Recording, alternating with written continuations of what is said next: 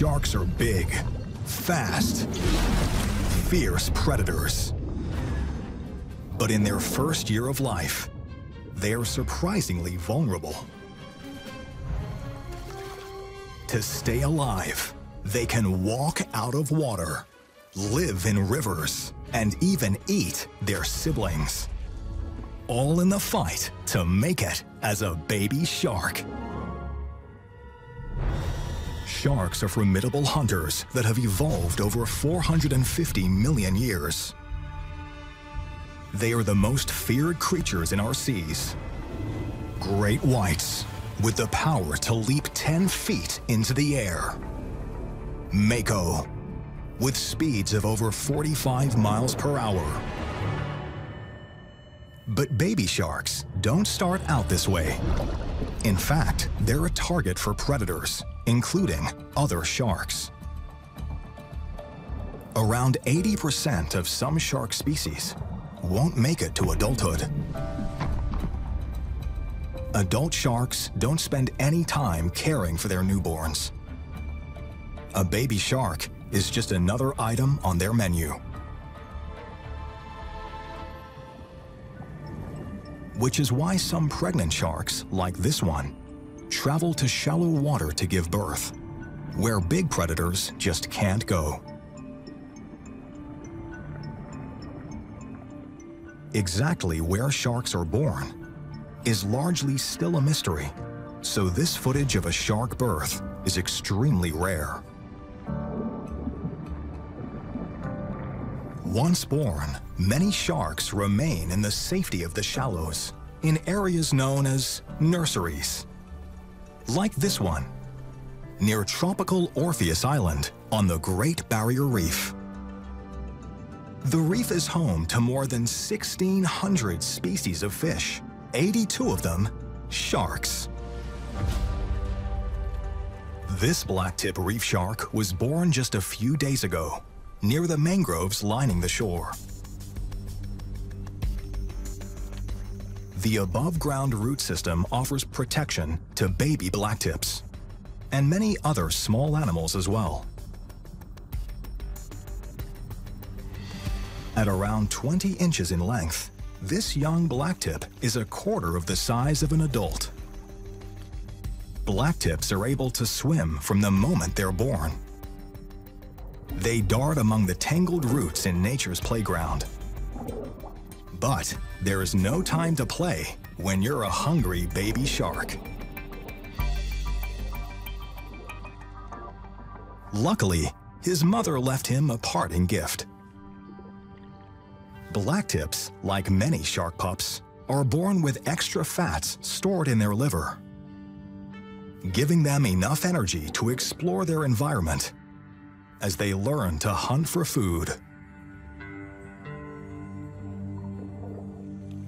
Venturing into the shallow bay presents opportunities for a larger meal. At three months old, he's still quite small. But within a year, he'll double in length. Four times the growth rate of a human baby. What he lacks in size, he makes up for in speed. Blacktips hunt with bursts of over 20 feet per second. He will spend his first 15 months hunting small fish, crabs, and octopus till he's big enough to travel out to the reef with the adults.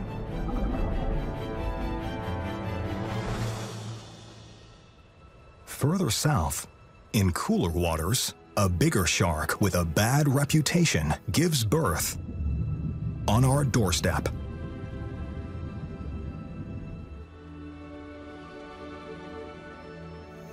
In estuaries and rivers, where fresh water meets the sea, you'll find bull sharks. Bull sharks are deadly and the most versatile of all sharks. They are the only shark species that can move between saltwater and freshwater.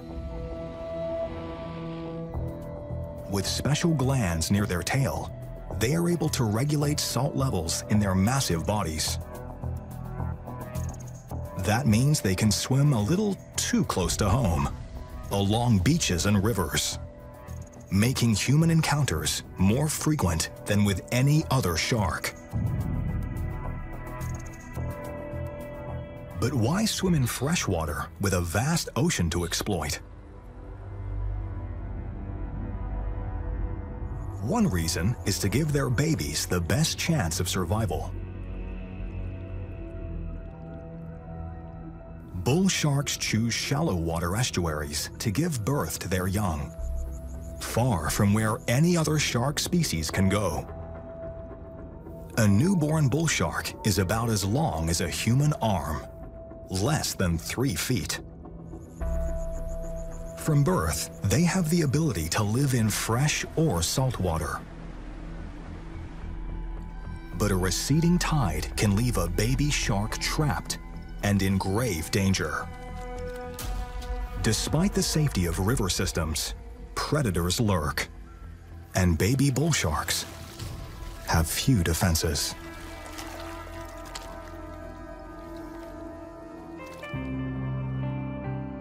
Here on Australia's central east coast, crocodiles are not a threat. But young bull sharks face other pressures like pollution and habitat loss. Which is why Dr. Amy Smoothey is here to help track their movements. So these sharks are vulnerable at these early life stages. It's really important to understand their movements and behaviours so that we can learn about what type of habitats they're utilising so that we ultimately can understand where they're going when and protect the sharks and their habitats that they're using.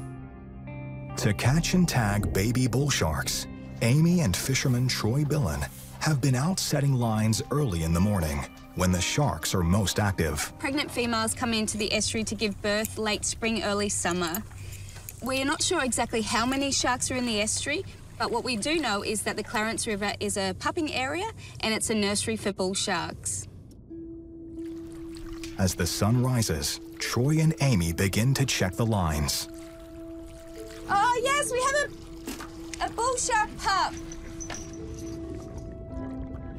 Oh, hello! There's a little male bull shark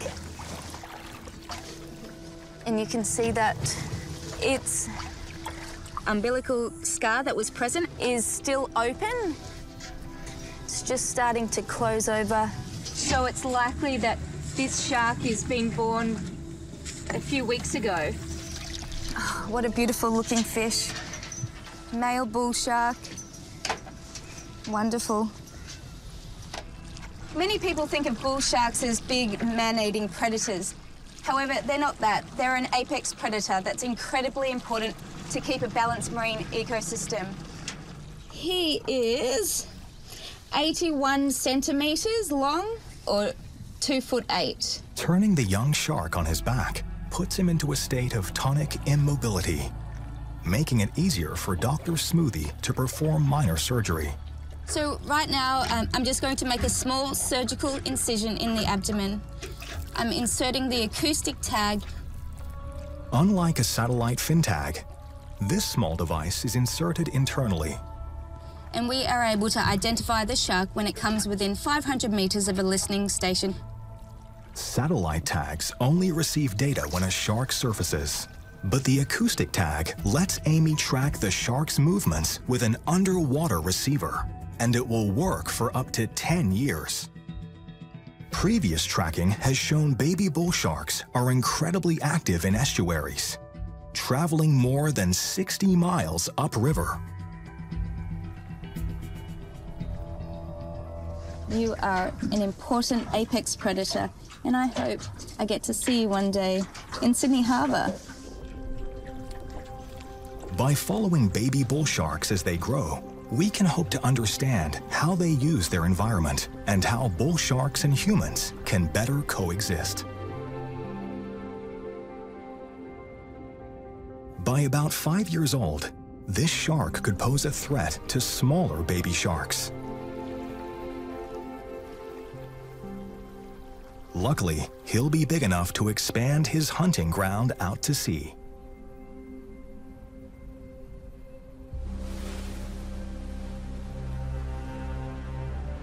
Further north on Australia's east coast, the babies of another shark face cannibalism in the womb.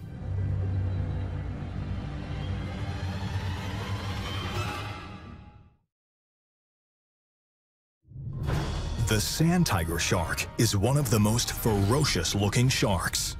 Up to 10 feet long and over 300 pounds. These adults are big and intimidating. Thankfully, sand tigers are extremely docile toward humans, often referred to as the Labradors of the sea. Sand tigers give birth only once every two years, and they never birth more than two pups at a time. They have the lowest reproductive rate of any shark. This makes them particularly vulnerable, and their babies especially precious. One of the most important breeding grounds on the planet for the sand tiger shark is here, just off Rainbow Beach in Queensland, Australia a place called Wolf Rock. Volcanic pinnacles jut up from the sandy bottom, creating a sheltered oasis in a blue desert. It's a biodiversity hotspot for fish, rays, and turtles. With such a concentration of shark food, it's a perfect place for sand tigers. After mating, they gather here in the hundreds, the females will stay here for several months as their babies develop. Sand tiger sharks have two wombs, and over a 12-month gestation period, produce hundreds of eggs. Up to six embryos will start to grow in each uterus, where life's already a battle.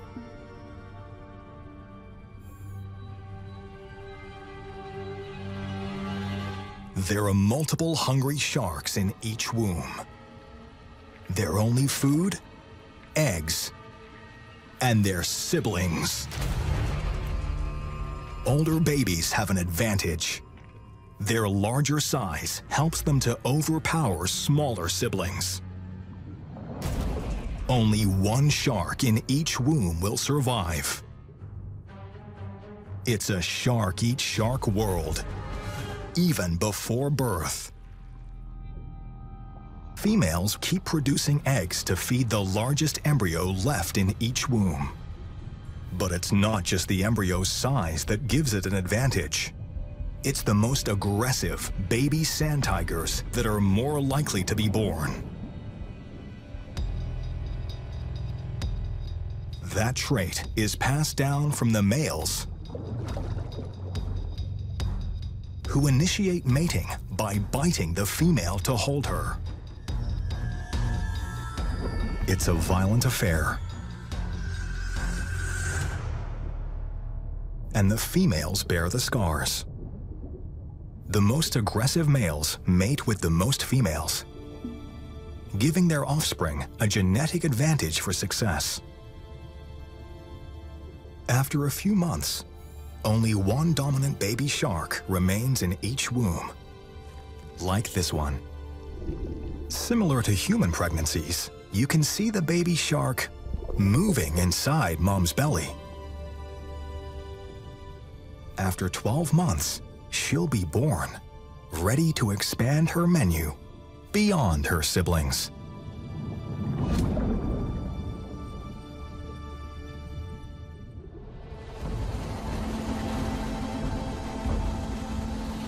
On the other side of the world, it's November off the coast of Cape Cod. At this time of year, the Northwest Atlantic seems an unlikely sanctuary for one little-known predator. The porbeagle shark. Despite their impressive strength and speed, porbeagles get much less attention than their cousins, the great white and the mako. Though pregnant porbeagles are here, they're rarely seen. And scientists are still unraveling their many mysteries. We're out here trying to catch the porbeagle shark, which we also like to call the phantom shark. This is because not a lot of people have heard of or seen the porbeagle. Pretty difficult to catch, and it's usually found in colder waters. PhD student Brooke Anderson is here to study the movements of female porbeagles as part of the research conducted by Dr. James Sulikowski. They believe that the females stay in these cold waters to give birth. The question is, why when other sharks migrate south by winter? It's windy, it's cold, it's rough out, right? And this shark is living here in these waters. It's the only shark that stays here year round.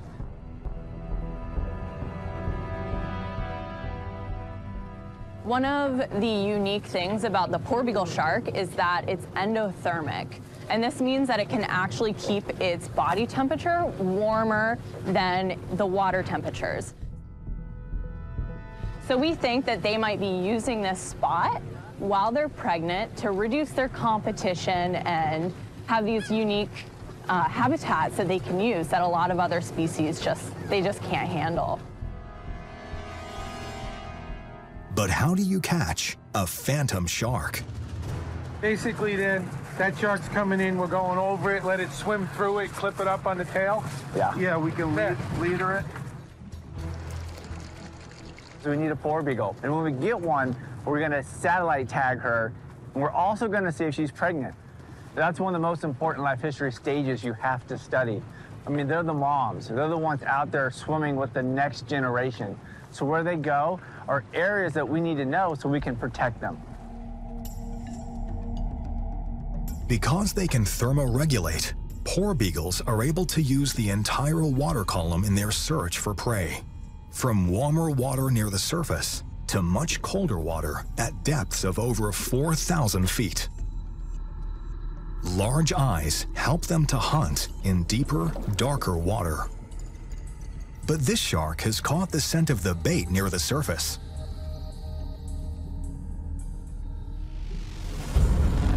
Porbeagle, we can see it right there in the water. The uh, thing just called the circle. See it circling? We can see the shark right here. Can the scientists catch this massive shark and bring it on board? That's a nice porbeagle right there. Look at that, every hook. All right, this is the key moment right now. We gotta get the shark to the boat. Porbeagles are big, they're powerful sharks. It's gonna take everyone on board to land the shark safely. All right, you might be on this one. Here we go. All right, shark's coming on. Two tail ropes. Hold on. Keep going. Keep going. Back. Keep going. Keep going. Pull! It's a big shark. Woo! Bringing 400 pounds of pure muscle on board isn't easy. And the crew need to find innovative and safe ways of holding onto it. You ready? All right, here we go. One of the most important things is to get water in the shark's mouth, which we have, which is great. The scientists must work quickly to keep the shark healthy. So what we're doing now is gonna get some measurements. See how big the shark is. Right now, it's a mature animal. This one's a mature male. This is a first. James and his team have never caught a male porbeagle in these waters at this time of year.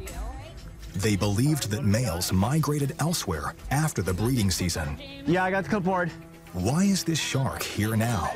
Right now. So we're getting a blood sample.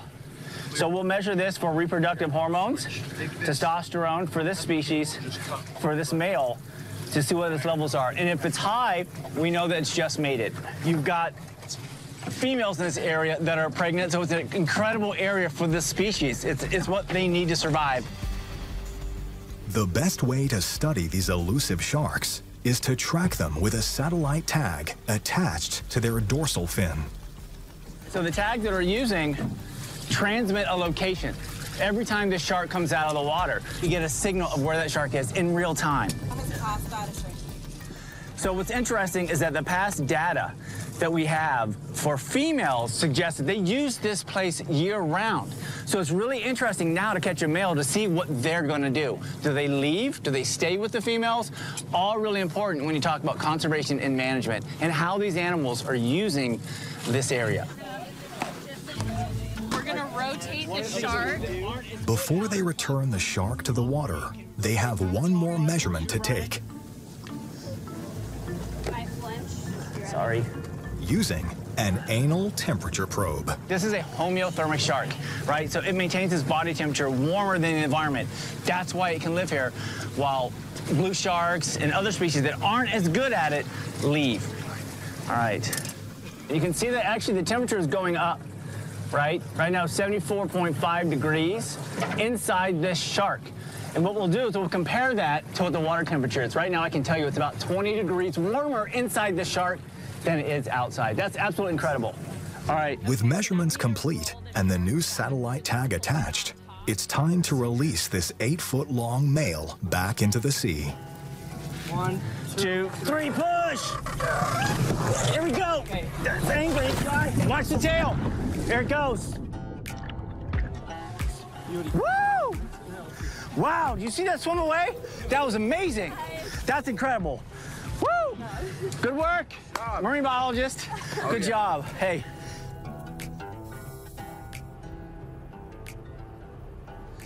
Real exciting. Landed a large porbeagle male, which is incredible. The shark was 250 centimeters long. It's one of the biggest I've ever seen, probably three, 400 pounds. I mean, it was a beast. Most of our work has focused on females, right? It's a really important sex. They're the moms. You know, where do they go to give birth? But when you catch a male, males are part of that equation. You know, where are they mating? You know, is it here? And if so, when? So that's a really important part of our research. And this is the first male we've ever tagged. So that phantom shark, we finally got the male. So all the pieces are starting to come together, but we still have such a long way to go. Catching a male porbeagle is a rare opportunity to add to the data on this mysterious species. But there is still a major piece missing to the phantom shark puzzle. This ultrasound reveals baby porbeagle sharks in utero for the very first time and only 8 inches long. But where are they born? To answer that, the scientists will return next year.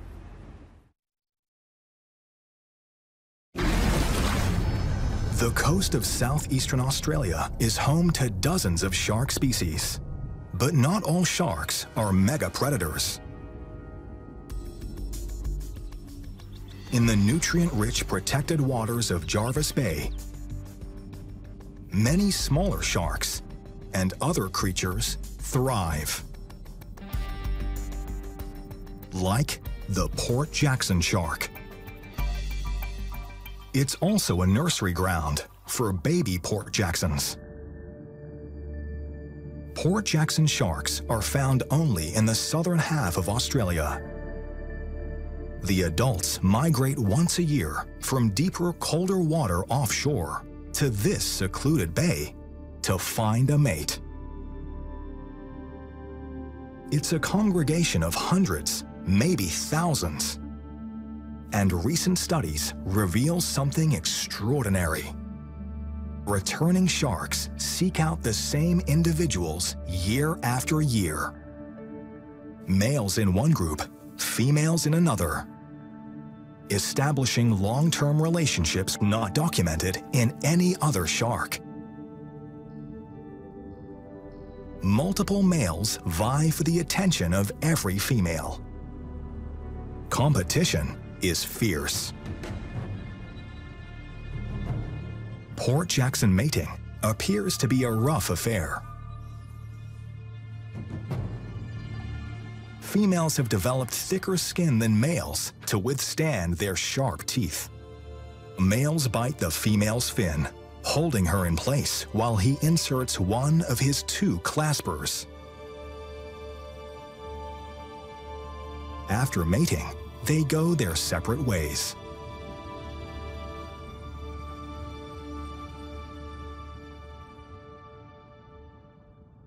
While most sharks give birth to live young, Port Jacksons lay eggs. To give unborn pups the best chance of survival, this mother wriggles the egg free into a deep rocky crevice where it's protected from predators. Her eggs are a unique cone-shaped spiral nearly 5 inches in length. Over the next few weeks, she'll lay up to 16 eggs from multiple partners. The corkscrew-like eggs will work their way deeper into the crevice and wedge between the rocks. They'll stay there, protected, for the next 11 months. This rare footage shows a five-month-old Port Jackson shark inside its egg. Even as an embryo, she must be vigilant. Using electroreceptors, she senses predators close by and freezes, even stopping her gill movements to avoid detection. But not all eggs are so lucky. If an egg rolls into the open, it's fair game. This crested horn shark looks a lot like a Port Jackson. They're close cousins, but there's no familial love here. On his menu is Port Jackson Shark Egg. Before this crested horn can break through the filament of the egg casing, a male Port Jackson approaches. It seems that help has arrived. Port Jackson sharks are larger than crested horns, and this one has the advantage. The crested horn isn't going to give up his meal that easily. The Port Jackson has to step up. He grabs the egg from the smaller shark. But this was not a rescue mission. The Port Jackson will keep this egg for himself. Just like a chicken egg, the yellow yolk is dense with nutrients to feed the shark embryo. An exposed egg represents a meal for anything that can break through the tough egg case. Nearly 90% of the eggs don't make it to hatching.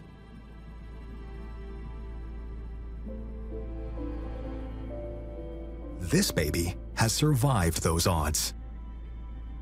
Just a couple of days old and 7 inches long, she's not much bigger than some mussel shells. She'll have to learn to feed herself quickly. The jaws of an adult Port Jackson are filled with crushing molars and razor-sharp teeth. But the baby's teeth and jaws are not fully developed yet. So she sucks in worms and other soft-bodied animals to eat. But she's not the only one out to find a meal. Predators are on the prowl. And baby Port Jackson is on the menu.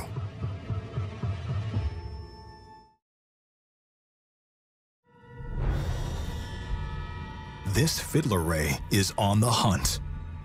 Using electroreceptors in its snout called ampullae of Lorenzini, the ray scans the seafloor for his next meal, looking for shellfish, crabs, and even small fish like baby Port Jacksons. Just like inside the egg, she freezes in an attempt to hide.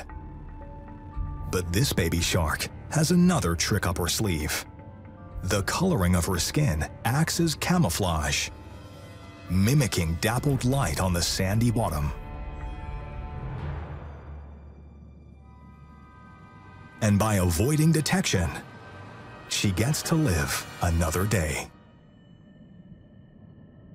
It will be at least 11 years before this baby shark is sexually mature.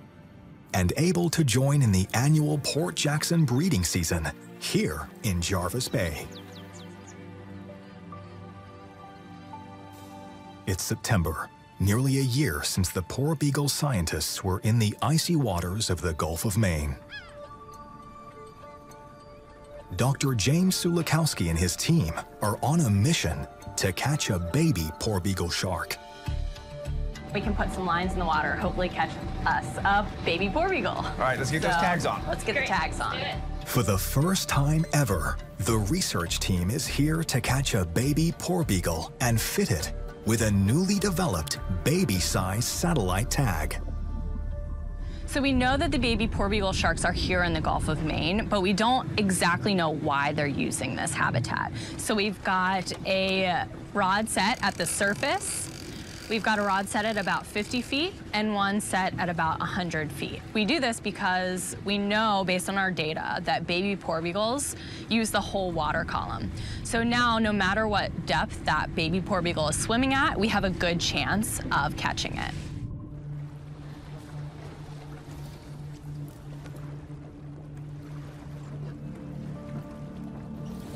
Little baby porbeagles are mischievous. They like to nibble around the bait, and sometimes it's gone. So there you go, it's gone. Little baby porbeagle nibbled around that, that hook. So we're gonna put some uh, more bait on there and give it another try. This phantom shark appears to be living up to its name. But their luck finally seems to change. All right, ladies, gentlemen, look at this. Okay, all right, here we go. Here we go. This has got a good hook.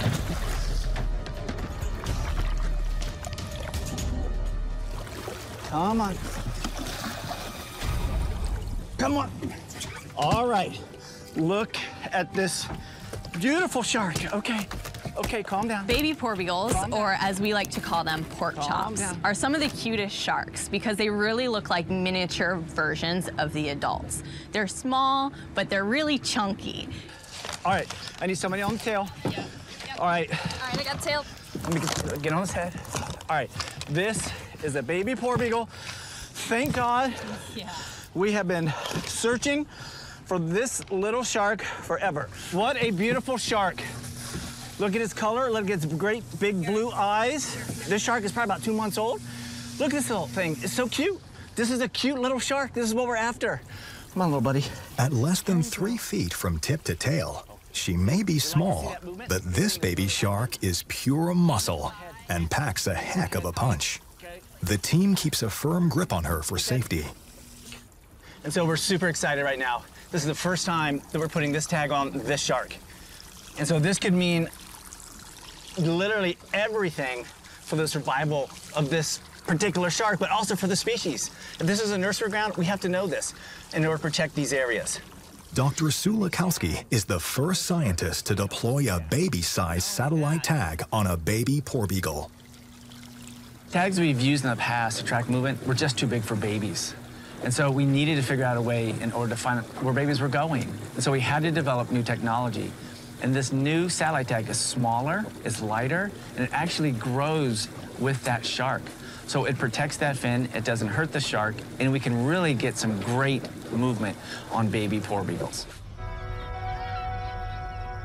Baby porbeagles share this area with commercial fishing boats and are sometimes caught by accident.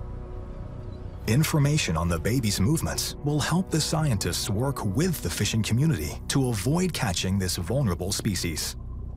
Right here, when that shark surfaces, this will transmit to a location from a, a satellite that's, that's passing above, so we'll know exactly where that shark is at that time. It's amazing. It's real-time, real-world information. Right now, we're gonna release this shark back to the ocean. One, two, Watch. three. Watch the line. Okay. Right, here we go. We're gonna place the shark in. Three. Oh, yeah, look at it go. This baby shark is safely back in the water.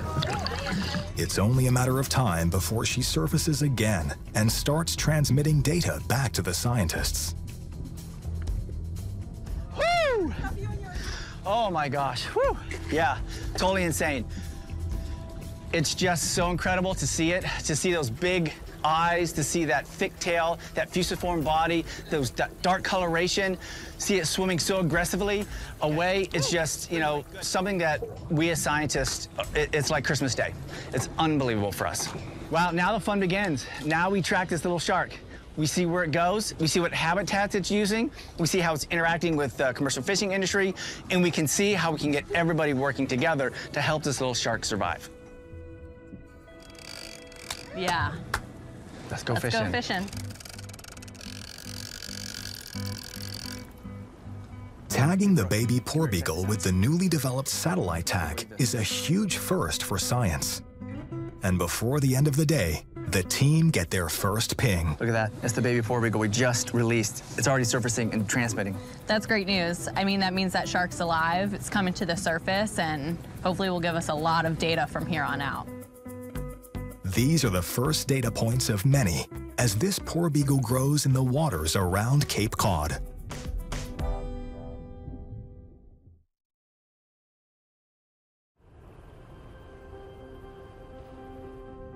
There's baby sharks here.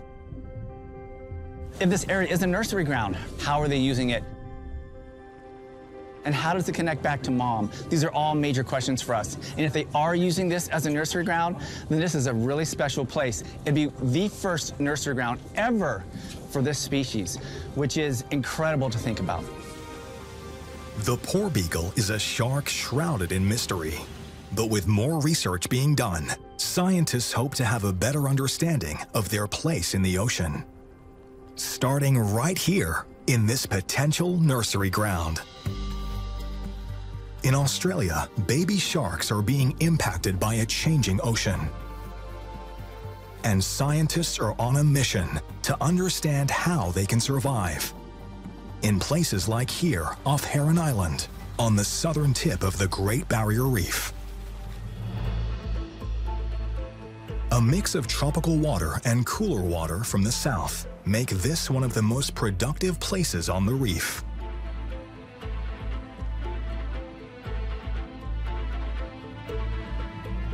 And it's home to one of the world's strangest shark species, the epaulet shark. They are also one of the world's smallest sharks, growing to only a few feet in length.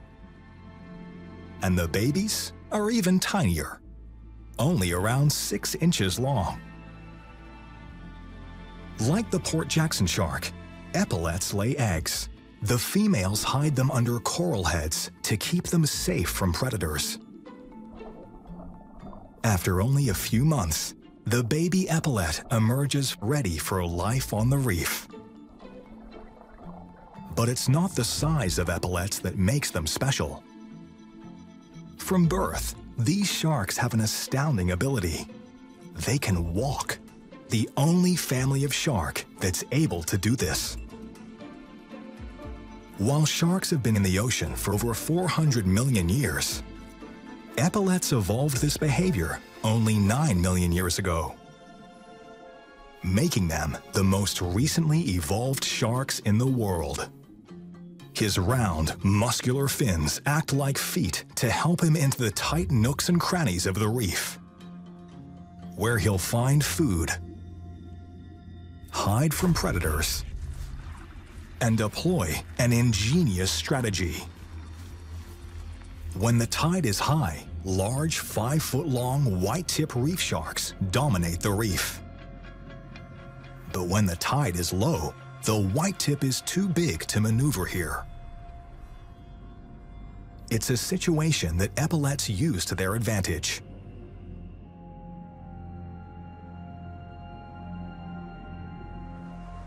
The fierce tides on Heron Island pull water off the reef at an alarming rate, leaving a shallow landscape of trapped water. Most fish move to deeper water off the reef as the tide goes out, or risk being stranded. The epaulet exploits this extreme tidal change to hunt when the competition is locked out. But as the tide continues to recede, the epaulet faces a challenge. These isolated tide pools are low in oxygen, making it difficult for most fish to breathe. But the epaulet has another unique ability. He can survive out of water. He slows his breathing and heart rate and shuts off parts of his brain. Now he can live for up to an hour without any oxygen before reconnecting with the sea. Epaulets are the only shark that can do this. It's an adaptation that has helped them thrive in places like this, where the reef experiences dramatic changes in short periods of time. While epaulet sharks have mastered the ability to cope with extreme changes in oxygen levels, how they react to extremes in temperature is unknown. I see a tail. Where? Oh, yeah, right here. They're so camouflaged. Holy cow. Oh, nice. so camouflaged. All right, let's get this one. Yep. Got him. In we go. Come on, little one. Nice work. PhD student Carolyn Wheeler and Dr. Jodie Rummer from James Cook University are here to study the temperature tolerance of epaulet sharks Ventilation rate. Make sure. and what it could mean for their future in a warming climate. When the low tides coincide with the afternoon times like that, it gets really warm on the reef flat. There's not a lot of water and it heats up really quickly. So the sharks have to be really tough to be able to handle these kind of short temperature windows in the afternoon on the reef flat here. The scientists catch a number of sharks of different ages, which they can tell by their size and weight. Second. Then they measure the water temperature where they find the sharks. Oxygen. Water that's too warm will stress the sharks. There are two life history stages that are particularly vulnerable. The first is early life history, so when the sharks are developing in their egg case, so when they're embryos and soon after a hatching. And the second vulnerable life stage is reproducing adults. They're putting a lot of energy into creating the precursors of eggs, and so this also is a very vulnerable stage. Unlike baby Port Jackson sharks, which take 11 months to incubate in their corkscrew eggs, baby epaulets spend only four months growing inside their eggs before they hatch. Just four months from a tiny wriggling worm-like creature to this mini shark. It's one of the shortest incubation periods of any shark species. But as water temperatures rise, babies that are heat stressed consume their yolk sacs more quickly, and they hatch almost a month earlier than average. When the baby sharks are born earlier, they're weaker than normal and unable to perform normal functions as well, such as learning to walk and hunting for food. And the temperature is quite high. Yeah, what is the temperature? It's 26.6 degrees Celsius, which is about 78 degree Fahrenheit. Reef flats like this one can vary drastically with each changing tide.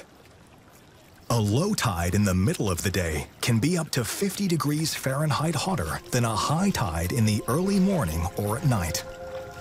It takes a lot of energy to grow from a tiny embryo into a baby shark.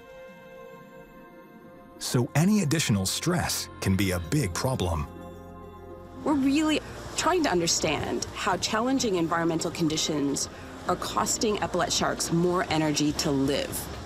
So we are using this species, the epaulet shark, as an indicator species. Because they're so tough, if we find thresholds or trigger points that are challenging for them, that is a very good early warning system for us for the health of the reef, not just the Great Barrier Reef, but reefs in general around the world. In a changing climate, sharks are still key to the health of the ocean. Beginning with baby sharks.